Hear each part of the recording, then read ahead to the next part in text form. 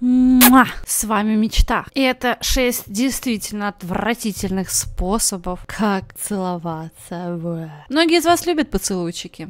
Тёмики в щечку, в губки, в лобик. Но есть поистине отвратительные способы. Когда я вижу, как люди целуются этими способами, мне хочется блевать. И сегодня я про них расскажу. Садитесь поудобнее. Поехали. И первый, один из самых отвратительных способов это целовать его так, как будто ты готова его прямо здесь сожрать. Особенно это касается девушек на диете. Я знаю, что поцелуй это целых две калории сожженных или приобретенных, я не знаю. Но перед тем, как целовать своего парня, покушайте, пожалуйста а то пол лица может быть у вашего любимого съеденного. Съеденное, и потом вы же от него сами и откажетесь. Второй способ это слюни, много слюней, когда вы вытаскиваете язык и облизываете человека вокруг своими слюнями капающими. Это напоминает мне больше чужого, чем какой-то приятный и нежный поцелуй. Третий это язык змея. Высовывать ваш язык в ее рот, как будто из вас вылезает кусочек чужого. Или может быть какая-нибудь глиста, змея. Короче, одним словом, отвратительно. Следующее это целовать кого-то, когда вы торопитесь. Я не люблю как эти быстрые поцелуи на ходу. Все-таки поцелуй это нечто приятное,